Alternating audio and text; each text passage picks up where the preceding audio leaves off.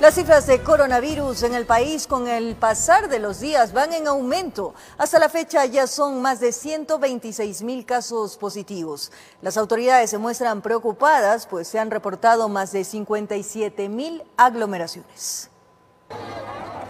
Han pasado siete meses desde que se conoció el primer caso de coronavirus en el Ecuador.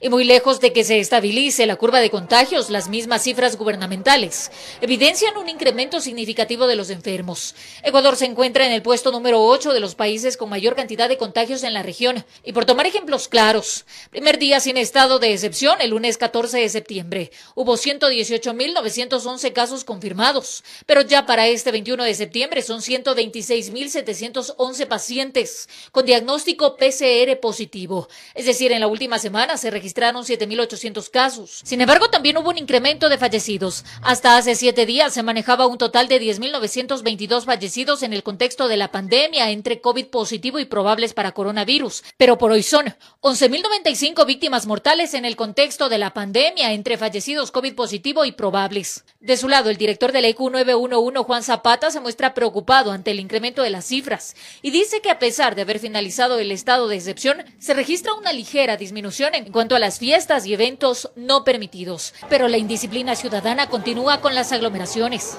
Hasta el momento, mire, nosotros desde que inició la crisis tenemos 57.746. ¿Pero cuántas aglomeraciones se registraron tras haber finalizado el estado de excepción? En la última semana hemos registrado 808 aglomeraciones en el, en, en el, país. Zapata sostiene que ya se han identificado los espacios donde se concentra la mayor cantidad de gente, pero sin embargo existe un relajamiento por parte de la ciudadanía. De que antes no teníamos manifestaciones, ahora también las estamos teniendo. Especialmente hemos visto aglomeraciones en parques, en plazas y sobre todo en paradas y en transporte público. Y esto sí es preocupante. Las autoridades hacen un llamado a la ciudadanía a no bajar la guardia frente a la COVID-19, pues las ciudades en donde se registra mayor cantidad de aglomeraciones son Quito, Guayaquil y Cuenca. Informó Marilyn Jaramillo.